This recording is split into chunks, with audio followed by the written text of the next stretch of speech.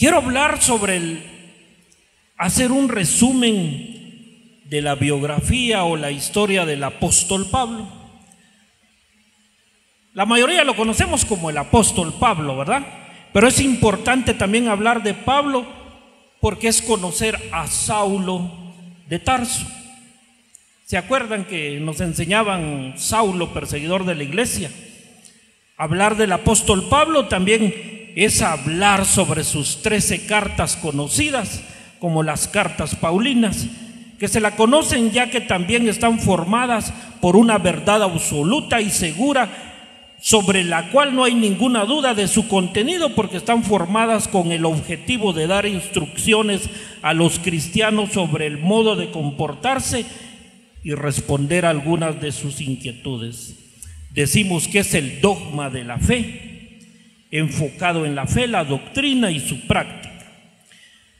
Dicho esto, veamos la práctica de Pablo antes Saulo de Tarso. Pablo dice, que fue llamado por el Señor con un propósito definido. Así lo vemos en Gálatas, verso 15 al 17. Pero cuando agradó a Dios que me apartó desde el vientre de mi madre y me llamó por su gracia, revelar a su Hijo en mí para que yo predicase entre los gentiles. No consulté enseguida con carne y sangre, ni subí a Jerusalén a los que eran apóstoles antes que yo, sino que fui a Arabia a orar durante tres años o un poco más y volví de nuevo a Damasco. Hablemos de, Saulo de Tarso. Para hacer un resumen corto de su vida, sabemos de que Saulo de Tarso nació posiblemente entre los años 5 y 10 después de Cristo, en Tarso. Era una provincia de Sicilia perteneciente al antiguo imperio romano, hoy la conocemos como la actual Turquía. Era importante entender que Pablo creció en un lugar conocido por su importancia intelectual y cultural. Por tanto, sabemos que Saulo podía viajar entre todas las regiones con menos restricciones por ser un ciudadano romano. Tenía visa para viajar por todos los lugares, ¿verdad? O sea, era una persona como ciudadano romano, tenía esos derechos. Su segunda credencial podemos ver que la presenta un poco larga, extensa, pero vale la pena escucharla, mis hermanos. Haberse criado en Jerusalén señalaba que fue criado y educado en el corazón de la vida religiosa y cultural judía. Lo conocían como Saulo de Tarso. Estaba altamente educado en la ley judía, muy ferviente en sus convicciones religiosas y se evidenciaba por su persecución inicial a los cristianos, que él creía que estaba en defensa de la tradición y de la ley judía. Pablo mismo describe su vida como fariseo, eso lo vemos en varios pasajes de la Biblia. Veamos qué dice en Filipenses 3, versos 5 al 6. Describe su origen como circuncidado al octavo día del linaje de Israel, de la tribu de Benjamín, hebreo de hebreos, en cuanto a la ley, fariseo. En cuanto al celo por la iglesia, en cuanto a la justicia de la ley, irreprensible. Ahora Pablo, entendemos que estaba, ¿qué? Si era irreprensible, ¿qué? No se le podía decir nada o estaba protegido por la ley judía. Sencillamente Pablo estaba bien instruido en la palabra, eh, hablando de Saulo de Tarso. Él conocía la palabra, las leyes y los profetas. De la A a la Z podríamos decir, ¿verdad? Estaba muy bien preparado Saulo para ser reprendido, conocía la ley. Ahora también dice que se describe como fariseo. Vale la pena ver esta parte porque dice significa que era parte de una secta judía conocida por su estricta observancia de la ley de Moisés y las tradiciones judías. Los fariseos recordemos que eran conocidos por su énfasis en la pureza y la adhesión a la ley judía, era la fuerza que mantenía esa ley. Los fariseos también eran respetados por su conocimiento y observancia religiosa de la ley. Esta es la razón por la cual su ferviente oposición ante los cristianos, porque Pablo sabía lo que estaba escrito era lo que se debía de hacer, nada más. Su celo por la ley y las tradiciones judías tan intenso que perseguía activamente a los cristianos, no importando qué. Ahora recordemos por qué Pablo fue un perseguidor de la iglesia. Se evidencian varias cosas en, el, en la Biblia donde cual él fue testigo incluso de la masacre donde matan a Esteban. Recordemos aquella prédica que nos predicaron hace unos domingos sobre la vida de Esteban, ¿verdad? Donde Esteban hace referencia también de que en su juicio Esteban sufrió la lapidación según las historias dicen, su martirio fue contemplado por un tal Saulo de Tarso, un fariseo que posteriormente se convirtió en un apóstol y seguidor de Jesús. ¿Qué les parece esa historia de vida? Entonces hablar de Saulo es también conocer el testimonio, ¿verdad? Saulo afirmaba que según la ley judía era irreprochable seguía estrictamente las leyes religiosas y rituales y de esta manera ilustraba sus sólidas credenciales judías y su compromiso ferviente con la ley y las tradiciones. Antes de su conversión al cristianismo, él defendía siempre esto a cualquier costo. Ahora veamos su afirmación como judío, ya en su fe en Cristo, esto supera todos esos logros que él tenía porque los mismos judíos le presentaban a él cuentas y le rendían cuentas a Saulo de Tarso. ¿Verdad? Atrapamos a tal cristiano, aquí está, te lo entregamos. Llevaban, creo yo, que hasta su lista. Entonces recordemos que Saulo era un conocedor de la ley. Saulo de Tarso también recibió formación de uno de los maestros judíos más distinguidos de su tiempo. Esta educación habría sido rigurosa y completa, no a medias. Abarcaba las escrituras judías y todas las tradiciones y podía interpretar bien todos los métodos que tenían como ley. Pablo utilizó su trasfondo de vida para conectarse con su audiencia judía. Ahora vamos a ver por qué Saulo, ya como Pablo, él hacía referencia a su historial de vida.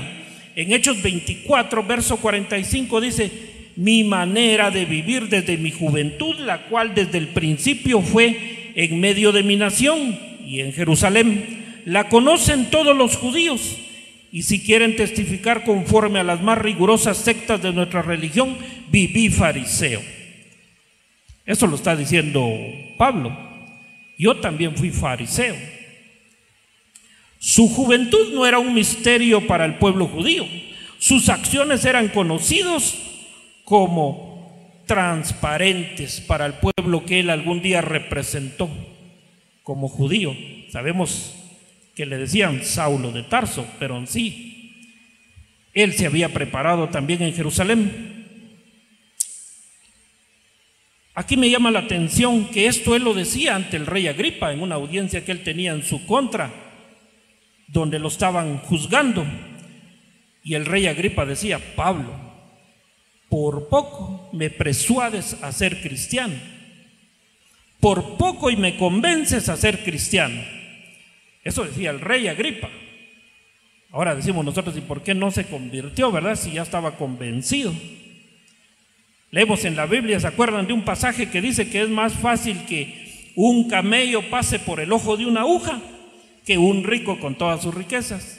Ahora imagínense un rey con todo el poder que tiene, con todos los lujos que tiene y su riqueza, es difícil que se convirtiera a Cristo, porque cuando la Biblia habla de que es más fácil que un camello entre por el ojo de una aguja. Se refería a un arco de entrada de la ciudad, que era pequeña. Si bien cabían los humanos, también cabía un camello y podía pasar por ahí. Ahora, ¿por qué el rey no pudo pasar? ¿Por qué un rico no puede pasar? Eso quiere decir que nosotros sí podemos pasar, mis hermanos. Todos podemos pasar por ese ojo de aguja, ¿verdad? Ahora conocemos que era un ar. Saulo, en, veamos, perdón, en Hechos 9, del 1 al 9, vemos que Saulo respirando aún amenazas de muerte contra los discípulos del Señor, vino al sumo sacerdote. Mire, aquí Pablo le cuenta al rey Agripa esta historia. Le dice, ¿quieren saber de mi encuentro? Y seguimos leyendo. Él les pidió carta en las sinagogas de Damasco a fin de que si hallase algunos hombres o mujeres de, de este camino los trajese presos a Jerusalén. Y más yendo por el camino aconteció que al llegar cerca de Damasco repentinamente le rodeó un resplandor de luz del cielo y cayendo en tierra oyó una voz que le decía, Saulo, Saulo, ¿por qué me persigues? Él dijo, ¿quién eres, Señor? Y él le dijo, yo soy Jesús a quien tú persigues. Dura cosa te es dar cosas contra el aguijón. Él temblando y temeroso dijo, Señor, ¿qué quieres que yo haga? Y los hombres que iban con Saulo se pararon atónitos y oyendo a la verdad la voz, mas sin ver. Entonces Saulo se levantó de la tierra y abriendo los ojos no veía a nadie. Así que llevándolo de la mano y le metieron a Damasco, donde estuvo tres días sin ver, no comió ni bebió. Un encuentro personal con el mismo Señor. Aquí hay dos puntos importantes que me llaman la atención, que Saulo rápido se reconoce y dice, ¿quién eres, Señor? y luego le hace la pregunta, ¿qué quieres que yo haga, Señor? Pero veamos el proceso, ya que en Hechos 9:17 Ananías recibió de parte del Señor una instrucción de ir a visitar a Saulo. Ananías, conociendo el pasado de Saulo de Tarso, dijo, va a ser un poco difícil ir con Saulo si es perseguidor de los cristianos. Pero él yendo llegó y le dice, hermano Saulo, el Señor Jesús que se te apareció en el camino cuando venías aquí, me ha enviado para que recibas la vista y seas lleno del Espíritu Santo. Inmediatamente algo como escamas cayó de los ojos de Saulo y recuperó su vista y fue bautizado y comenzó a comer recuperando sus fuerzas después de su conversión. Saulo, más tarde conocido como Pablo, empezó a predicar en las sinagogas de que, su, de que Jesucristo es el Señor. Amén, hermano. Qué bonita, qué bonito encuentro que él tuvo, ¿verdad? Con el Señor. Pero fue tremendo. Nadie resistiría ver al Señor en el camino.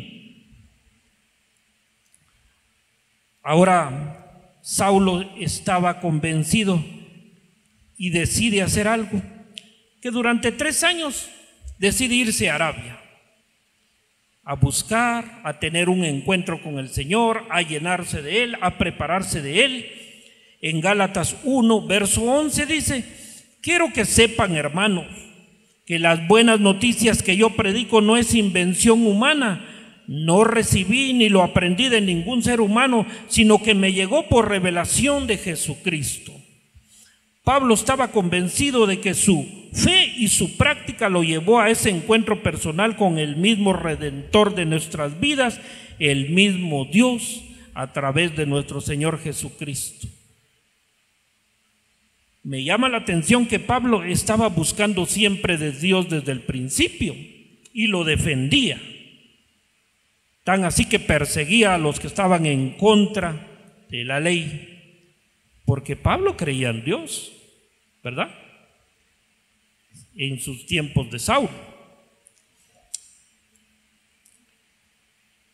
Pablo fue llamado a cumplir un llamado. Después de ese encuentro que tuvo con el Señor, él sabía que iba a enfrentar dificultades, porque su vida pasada no era muy de agrado para muchos, no era muy convencido por muchos. A muchos les costaba creer que Saulo de Tarso ahora está predicando de Cristo luego de perseguir a Cristo. Entonces aquí se hace realidad lo que dice Juan 16, verso 33. En el mundo tendréis aflicción, pero confíen, yo he vencido al mundo.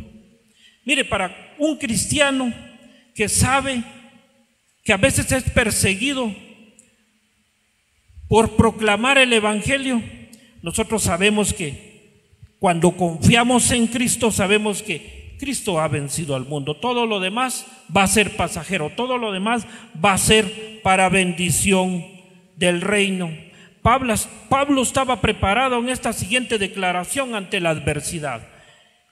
En su trabajo misionero, Pablo se enfrentó a dificultades y experiencias cercanas a la muerte, castigos severos. Sus opositores también tenían la intención de desacreditarlo. No hay cosa de verdad más triste y a veces da lástima que encontrarse gente que lo desacredita a uno o que lo traicione. El apóstol Pablo se encontró con estas dificultades tan claras en 2 de Corintios 11 del 24 al 27. Dice, de los judíos cinco veces he recibido 40 azotes menos uno. Imagínense, después de él ser fiel colaborador de ellos, ahora ellos le dan y lo azotan. Y hay una serie, un listado de cosas que sufrió como el naufragio, peligros en los desiertos, peligros en las montañas, peligros entre los gentiles, pero me llama la atención algo, peligros entre falsos hermanos. ¿Por qué será? Yo me hice la pregunta, ¿verdad? Pues yo los que conozco son hermanos que nos aprecian, nos quieren, pero a veces no sabemos con quién nos tomamos la foto, ¿verdad? Bueno, Pablo encontró falsos hermanos. También sufrió fatiga, desvelos, hambre, sed, frío y algunas veces en desnudez porque quizás lo dejaron, lo asaltaron y lo bajaron sin nada. Ahora aquí vemos que Pablo es un testimonio de esta verdad a través de Cristo. Se demuestra que el cambio radical es posible. ¿Se puede encontrar un nuevo propósito de sanación interior? Sí, a Pablo fue transformado. ¿Se pueden derribar barreras, influenciar a otros y proporcionar esperanza para la contribución y la difusión del Evangelio? Sí, claro que Dios nos puede utilizar. Pablo se encontró con estos desafíos y proclamar a Cristo a través de nuestra nación o las fronteras o afuera nos da, nos pone ante el enemigo que somos verdaderos hijos de Dios. Hermano, cuando usted da testimonio de Cristo en su trabajo, donde quiera que vaya, el enemigo va a reconocer rápido que usted es hijo de Dios, de veras. No se va a estar metiendo con usted porque lo reconoce. Si el diablo cree en Dios y tiembla, ¿verdad? En Hechos 19, 15 dice, pero respondiendo el espíritu malo dijo, a Jesús conozco y sé quién es Pablo, pero vosotros quiénes sois.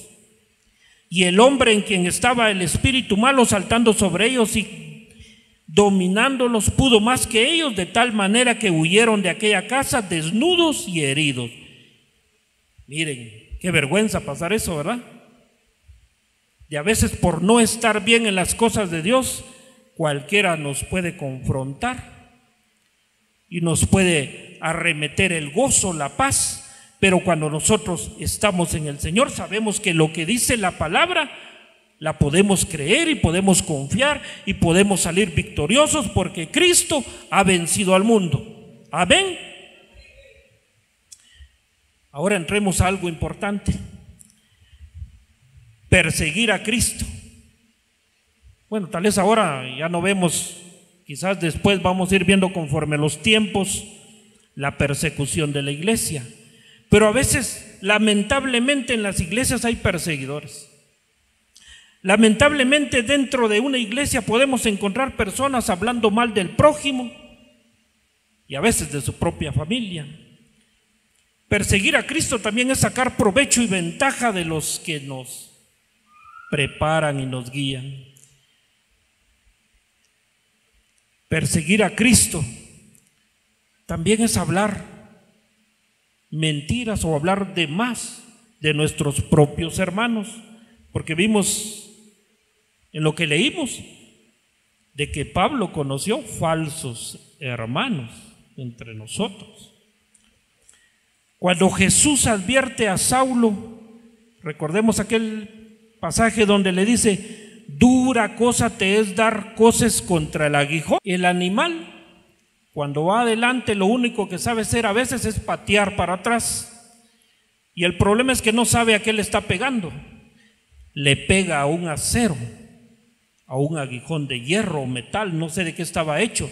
Y lo único que producía era darse dolor, golpearse, lastimarse y quizás desangrarse.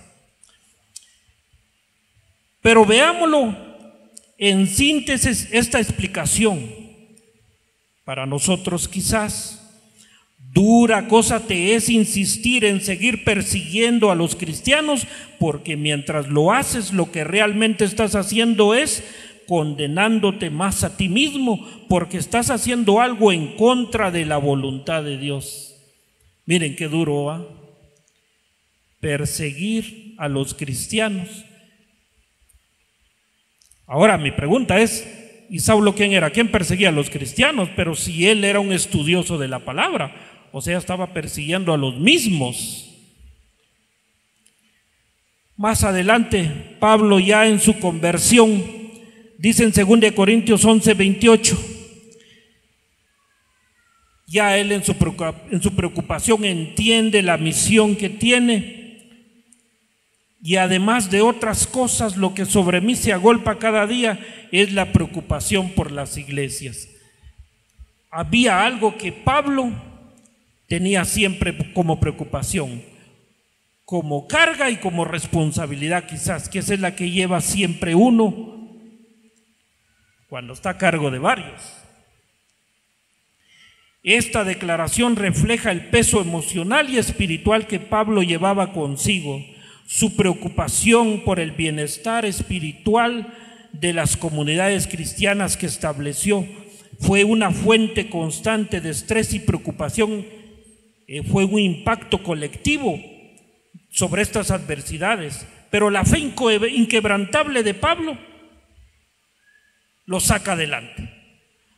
Pablo sabía que estas cosas iba a enfrentar. Enfrentó grandes situaciones, grandes dificultades de encarar a grandes personajes. Se enfrentó varias veces con desafíos físicos en sus viajes misioneros. A pesar de su padecimiento personal, se tuvo que conformar con la gracia y entenderlo. ¿Tendría Pablo necesidad también de salud? ¿Qué recordamos? ¿Verdad que siempre le pedía a Dios, quita de mí esto? ¿Y qué le respondía a Dios? Bástate mi gracia porque mi poder, mi poder se perfecciona en tu debilidad no le pudo complacer, ¿verdad? Pero Pablo sí entendía que tenía que padecer y seguir su misión. Su fe y su misión y su convicción nos refleja que él practicó la piedad para tener pasión por las almas, ¿verdad?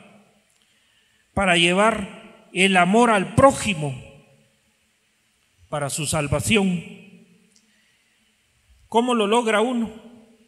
Manteniéndose y nutriéndose uno con la palabra, con cosas de amor, paz, gozo, benignidad, fe, mansedumbre y templanza. En Gálatas 5:22 leemos esto.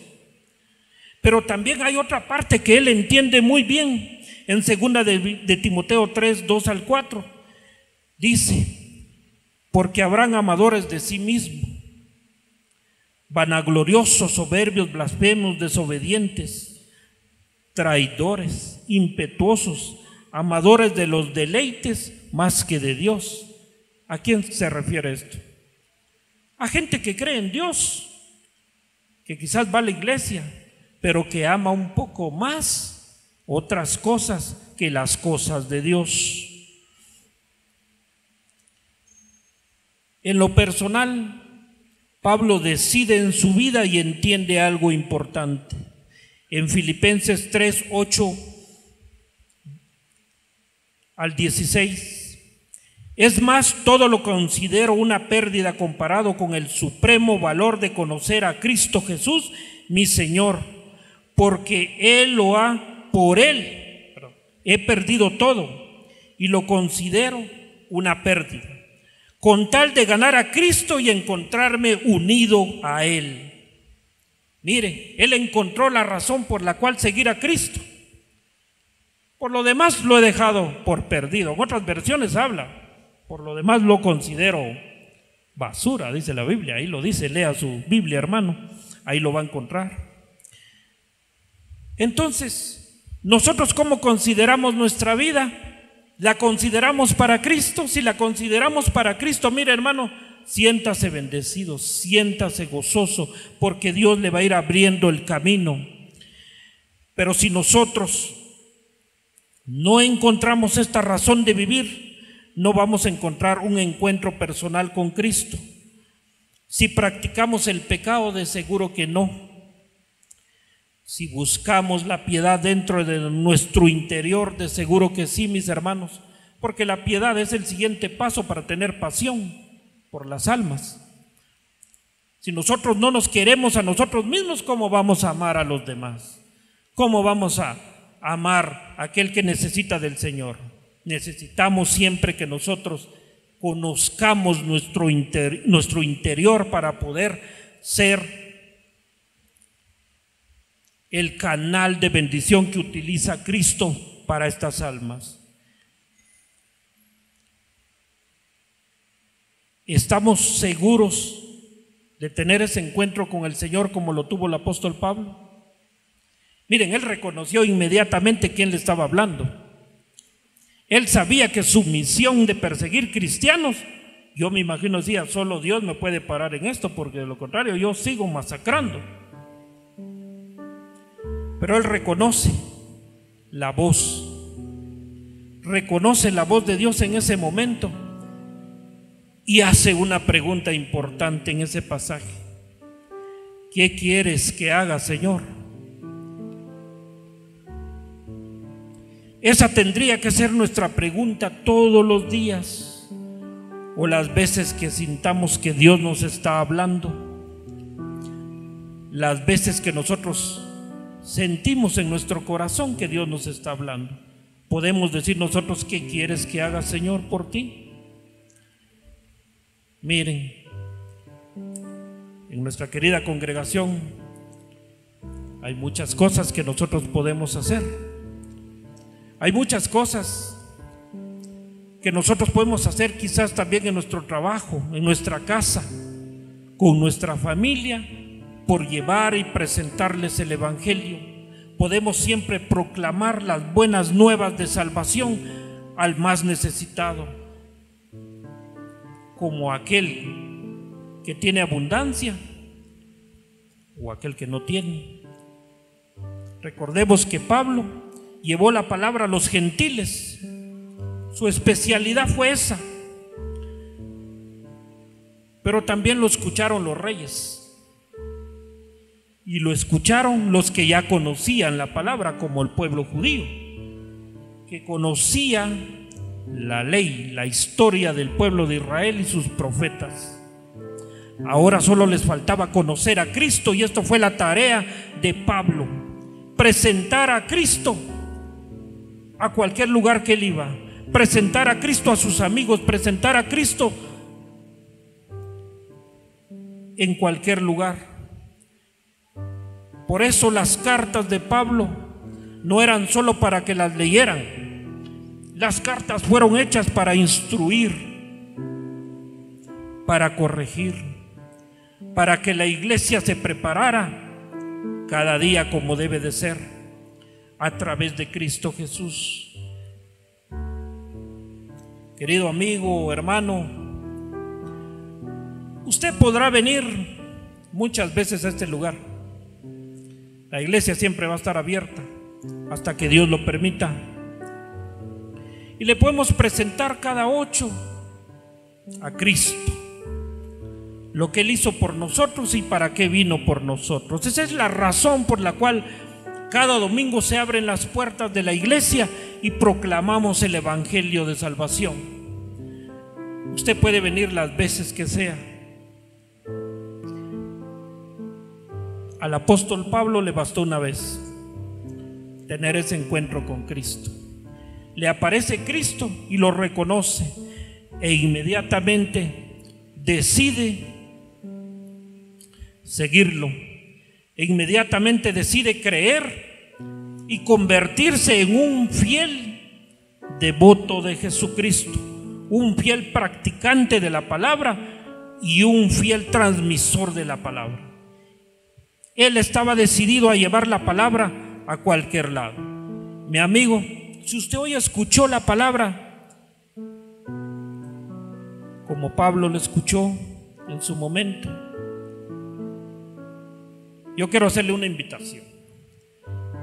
Pasarán los domingos, las veces que quiera, pero hoy es un día muy especial. Usted quiere recibir hoy a Cristo en su corazón. Nos encantaría orar por usted como congregación, como hermanos. ¿Habrá alguien aquí que quiera entregar su vida a Cristo y tener ese cambio? Acércate a Dios y Él se acercará a ti. Te invitamos a conectarte con la palabra de Dios todos los días a través de este canal, en esta red social. Si vives en Guatemala, te esperamos en nuestras reuniones semanales. Iglesia Bíblica de Guatemala.